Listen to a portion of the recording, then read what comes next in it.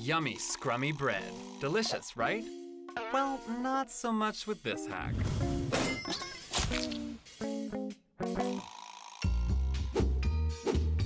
If you have corns or calluses on your feet, a not so tasty way to get rid of them is to take some stale bread. I would totally use the heel. Soak it in apple cider vinegar and then secure it to your feet. Slip on a pair of socks and go to sleep.